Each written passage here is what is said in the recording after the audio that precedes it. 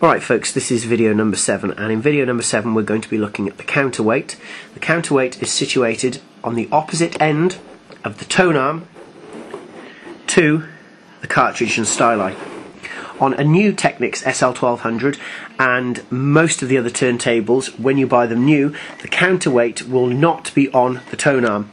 The counterweight will be situated somewhere else in the box, generally in and amongst the actual polystyrene packing fit the actual counterweight on a Technics SL1200, you need to make sure that the numbers go on first. Just push gently the counterweight on and then slowly twist the counterweight while having a little bit of pressure going forward so it will start to slide on. Now 99% of DJ cartridges and styli will allow you to have the counterweight virtually as far as it can go on to the actual tone arm. There you go. A quick look at the counterweight on a Technics SL1200 turntable. Thanks for watching, practice and enjoy.